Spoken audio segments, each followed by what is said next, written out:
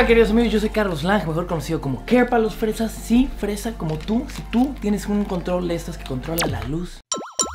O care para la banda, o carecito, el francesito.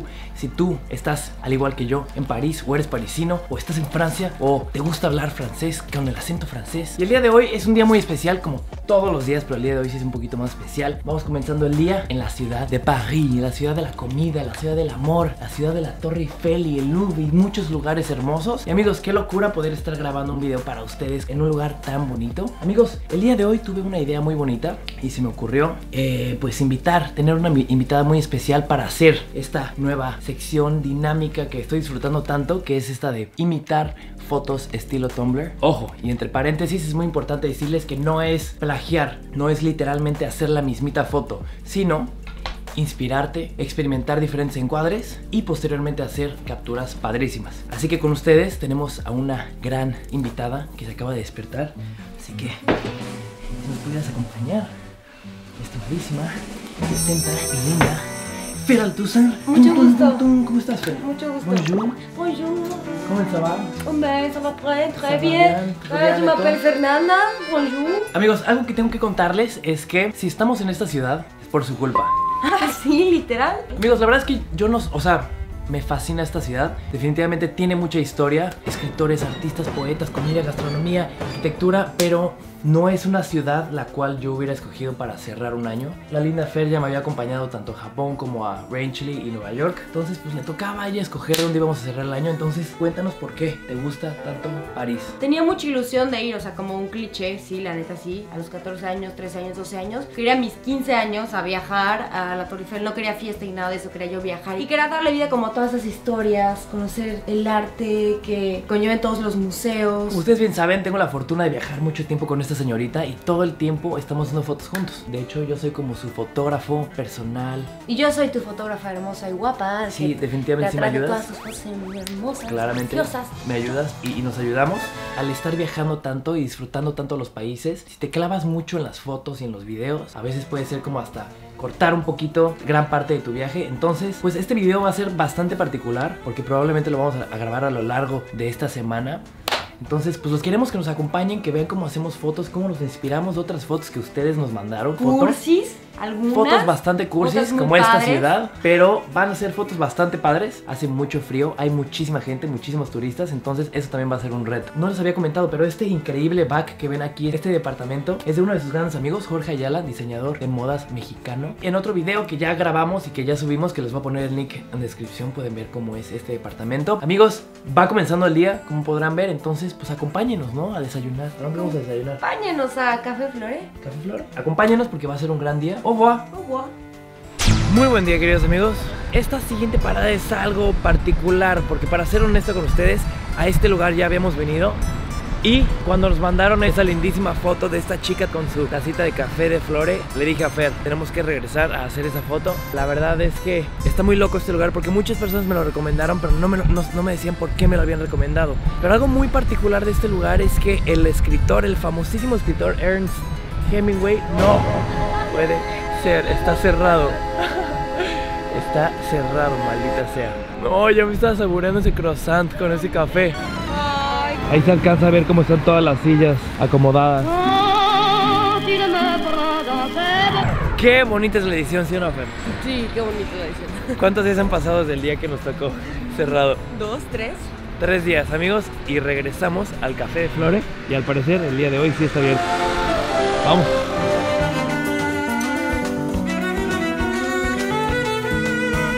Amigos, como les comentaba, algo loquísimo de este lugar que me encantó es que aquí se sentaba el mismísimo Ernest Hemingway a escribir, a leer y a observar a la gente y tomar notas para sus próximos libros. Amigos, no saben qué hermoso lugar. A ver si les puedo enseñar un poquito. Bonjour, monsieur. Oui.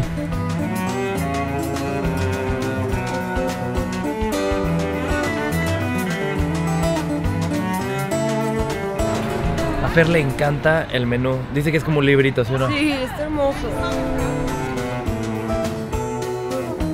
Érase una vez en un restaurante bastante caro en la ciudad de París.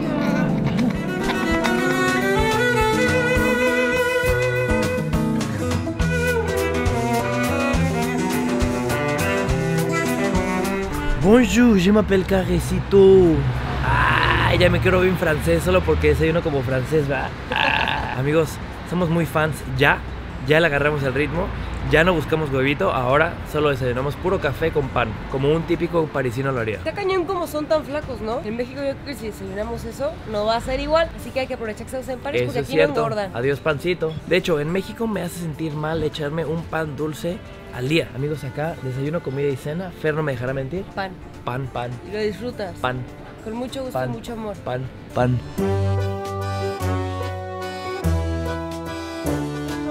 Oye, amiga, ¿tu sombrerito francés venía con tu croissant? No, este fue aparte. ¿Así? Sí.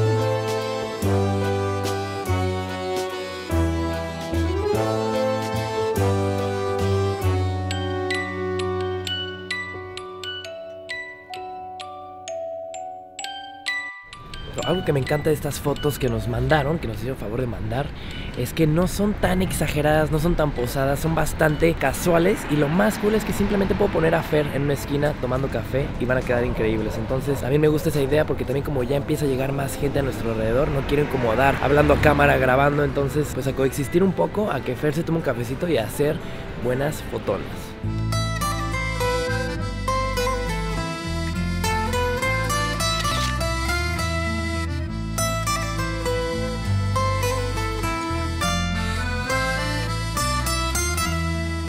Siguiente parada, el Louvre.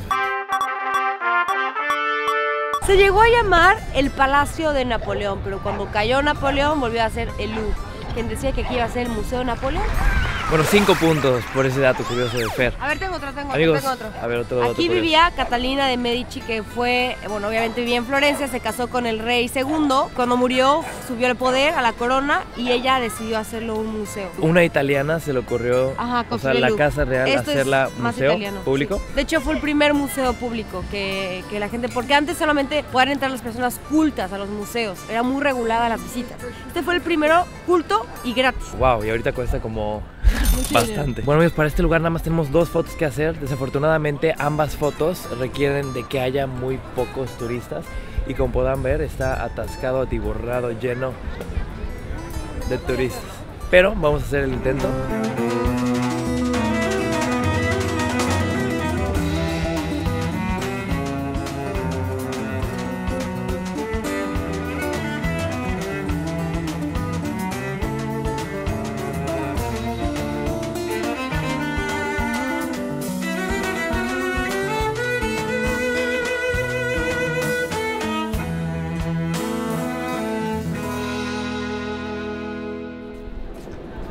Pues queridos amigos, esas fotos fueron todo un éxito. Definitivamente me hubiera gustado traer los reflejos que tenía el Louvre, pero de cualquier manera creo que quedaron bastante interesantes esas fotos. Y la siguiente foto es bastante complicada. La voy a poner por aquí para que vean cómo realmente dependes mucho de cuánta gente venga. Entonces creo que esta fotografía va a ser como un ejercicio de paciencia, ya que voy a tener que esperar a que no haya nadie para que Fer pueda cruzar y se vea como que está desierto este lugar.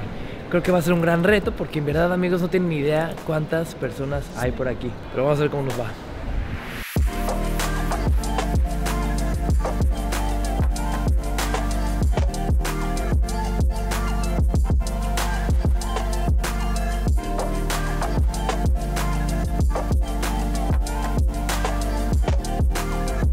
Amigos, les dije que era un juego de paciencia, amigos, era un reto de paciencia. En verdad, si algo le puedo aplaudir al fotógrafo que hizo esa foto en la cual nos, de la cual nos inspiramos fue el haber podido encontrar ese lugar sin gente, ¿no? Llegó un punto en el que Fer me dijo, no, ya, vámonos, ya, vámonos, estamos perdiendo el tiempo. Amigos, llegaban olas y Es que olas. aparte de un lado olas. no venía gente, decíamos, sí, aquí. Y luego del otro lado empezaron a llegar así, enormes grupos de turistas. Claro, porque Fer veía lo que estaba a mis espaldas Ajá. y yo veía lo que estaba a espaldas de ella. Entonces ella me decía, ya vas, ya vas, ya no hay gente, ya no hay gente. Y de repente atrás de ella había millones de personas. Y como que siento que a veces el que haya tantos turistas, personas en tu foto, como que le quita un poquito al mood a tu foto, ¿no? Y creo que especialmente es lo que más me gusta de la foto pasada. Digo, no nos fue tan mal, pero de todos modos definitivamente no se cumplió el objetivo. Creo que no me gusta tanto el resultado, pero seguimos intentando.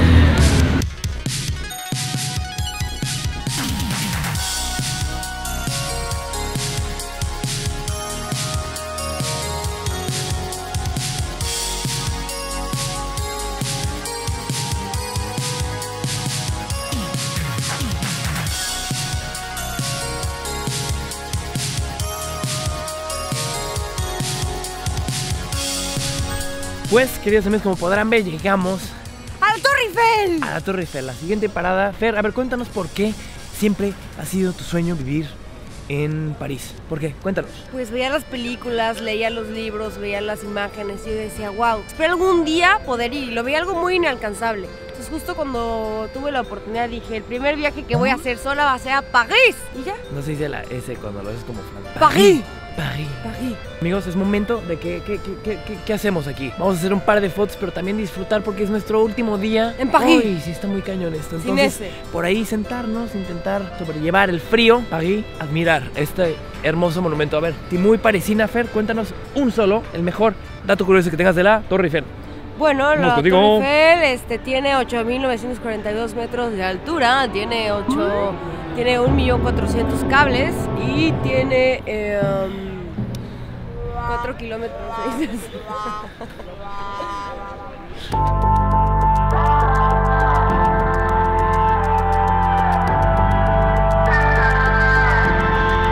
No se alcanza a ver mucho, pero hay muchísima gente. Pero antes, tengo que hacer una foto que a Fer le va a encantar. Es la foto más cursi del universo, amigos. Pero la pidieron mucho y la tengo que hacer. Esta es muy cursi, maldita sea, pero lo voy a hacer.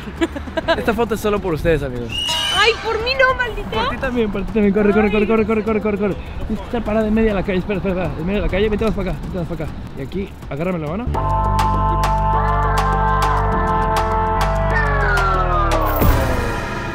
Primer intento, ¿cómo nos fue? Vale.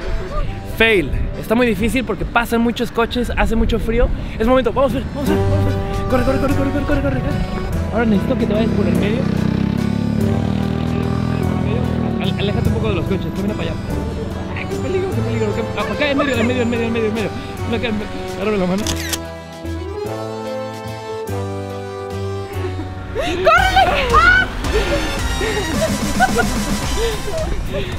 Maldita sea, espero que haya quedado.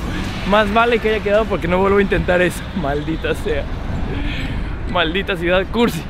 La amo. Muy cursi.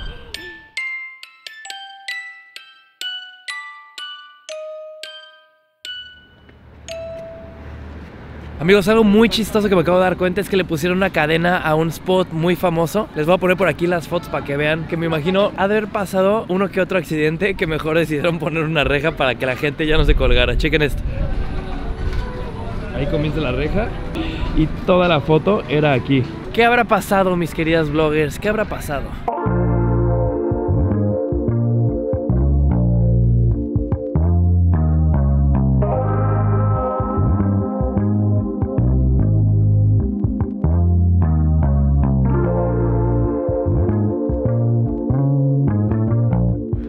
Terminamos ya con este spot amigos, al final como que no nos importó tanto seguir al pie de la letra cada foto, porque algo que les voy a decir siempre y siempre y siempre que hagamos este imitando fotos de Tumblr es que es muy importante que no caigamos en el plagiar, en el intentar hacer que la foto sea igualita. Lo más importante pues es inspirarnos con esos ángulos, intentar cosas diferentes, pero nunca, nunca, nunca plagiar, nunca clavarte tanto en hacer las cosas diferentes. Al final creo que a Fer y a mí ya ni nos importó, nos valió. Disfrutamos un poquito más estar frente a semejante monumento. Ayudamos a un par de personas a, tomarse fotos. Y pues nada, fluimos. Quedaron muy padres las fotos. Amigos, me estoy congelando. Está a punto de caer la noche y es momento de cenar escargots.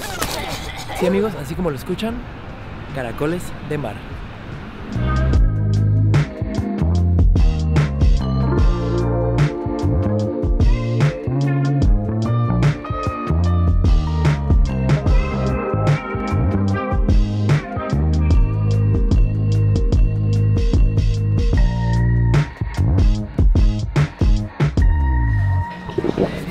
Puedo hacerlo. Pues queridos amigos, por fin voy a probar los escargots. Que es un plato bastante francés que todo el mundo me recomendó. Que me dijeron no te puedes ir de París sin probar caracoles. Amigos, se ve bastante peligroso. Uh, tiene un olor muy particular. Huele como a pasta, como a como aceite de oliva. Están bastante calientes. Parece como literalmente parece como si fuera un pantano. No se alcanza a ver. Pero ahora viene nuestro mesero, que es a todísima madre, y nos va a explicar cómo se come porque hay toda una técnica detrás. Ok, here we go. I am a left-hander, So I, I am too. Okay, so we do with the opposite hand. Okay. So you open like this, up. You take this, you put inside like this. To have more strength, I put my fingers in, inside like this. Just. Oh! Oh, you have to break it? No, no, no. Too much strength. now it's easy to get it, you know, to have Okay. it. But normally you do not like this, but like this. Okay. So what you can do, you take this off because this is really good with bread. Okay, okay, okay. okay. Because this is the garlic and basil. So sometimes they don't want to come, huh? So So you have to like open it and break it. no, no, no, no, no, no. You see, you got it slowly, like this. Uh, here it is. Ah. See? You go slowly, and here it is. Okay, and the first one is for you. No, no, no, No, it's for yes. him. No, no, no, no, no, No, for no, you, no, for no. you, for you. It's really good. Honestly, it's really good. Really? I swear, it's really, really good. After you will thank, thank me. No, it's not gonna move in my mouth.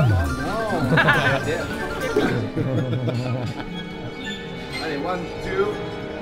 Todo, todo, todo, no, María, sí, todo, todo, todo, todo, todo.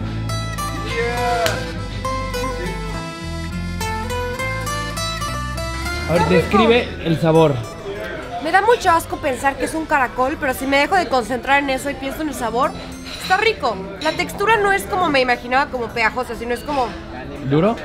No, está suavecito, pero no tan suavecito. O sea, sí lo puedes masticar bien. Ok, Y sabe a mantequilla. ok. Está rico, pero ya no quiero más. Voy yo. Ok. Primero agarras. Ya soy profesional, amigos. Pones un poco de presión acá y lo empiezas a sacar poco a poquito. Primero tienes que sacar el juguito. Que me recomendó probarlo con mucho pan. Y después sacas al calacol. Que a veces no quiere salir. Ahí va, ahí va, ahí va. Mm, A ver, a ver, a ver, a ver. Acércalo, acércalo. huele como a pollo. Ahí déjalo. Ay, pobre cara- caracolcito. Primero hay que darle las gracias por haber muerto para alimentarnos.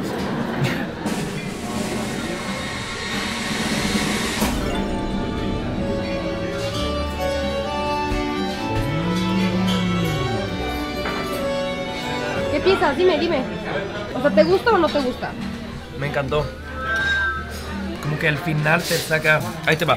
Es como comer carnita, casi cruda. Se siente bastante suave. Como que la consistencia yo pensé que sería un poco más babosa, como mucoso. Es como un poco duro. Sabe mucho como a hierba, como a aceite de oliva, orégano. No sé, como que es, es muy fresco. Como dijo nuestro querido Garzón, o sea, nuestro mesero, pues yo creo que parte de viajar también es probar, ¿no? O sea, por algo tenemos cinco sentidos, entonces si vas a ver cosas nuevas, si vas a escuchar cosas nuevas, también probar cosas nuevas, es muy importante. Pues nada, amigos, ahora sí disfrutarlo y después hacer un par de fotonas por aquí, porque este lugar con toda la luz y todos los reflejos de las ventanas, se me hace que pueden quedar un par de fotonas muy buenas.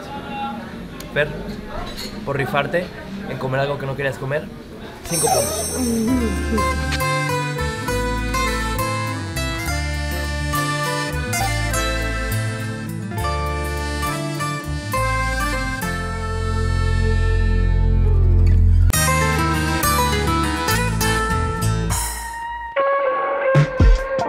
Muchas de las fotos que también me mandaron y que también había visto desde hace mucho tiempo son como, ¡uh! ¡Qué frío hace! En los reflejos de las ventanas, como que fotógrafo se encuentra afuera y sujeto se encuentra dentro. Y eso hace que el mismo espejo o el cristal genere como un par de reflejos súper interesantes. Y ahorita que estamos, amigos, en verdad en cualquier restaurante que te sientes en París, que dé a la calle y que tenga un gran cristal, funciona muy cañón para hacer fotos impresionantes. Y ahorita que estábamos cenando, escargots y todo eso, se me ocurrió hacer un par de fotos para Fer, que con su abrigo, con su vino se ve toda espectacular. Chequen, chequen, chequen.